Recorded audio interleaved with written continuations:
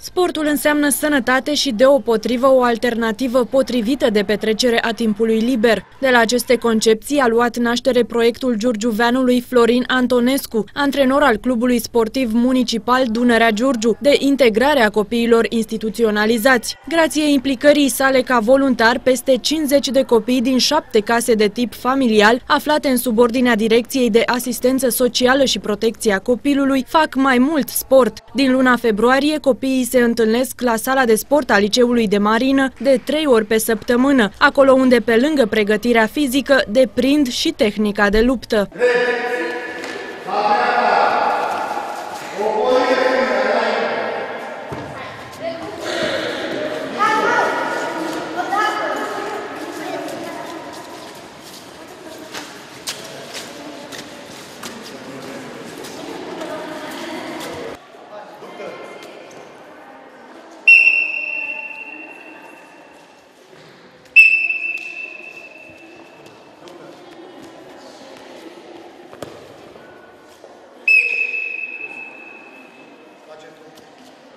Copiii dau dovadă de conștiinciozitate nu numai la sala de sport, ci și la școală, acolo unde obțin rezultate foarte bune. Bucuria mea ca și voluntar, ca și antrenor în cadrul Clubului Sportiv Municipal Dunărea Giurgiu a fost foarte mare în momentul în care am văzut că 58-60 de copii cu vârstă între 8 și 14-16 ani um, vin nelipsit uh, zi de zi în sală, își dau interesul și în afara activităților sportive am uh, întâlnit la ei și dorința de a mă surprinde. Cum să mă surprindă?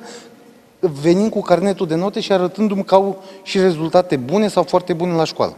Așa cum spune antrenorul, în sport nu există diferențe. Antrenamentele sunt frecventate și de peste 20 de copii din comunitate, iar pe parcursul lor nu au existat vreodată probleme de comunicare între copii.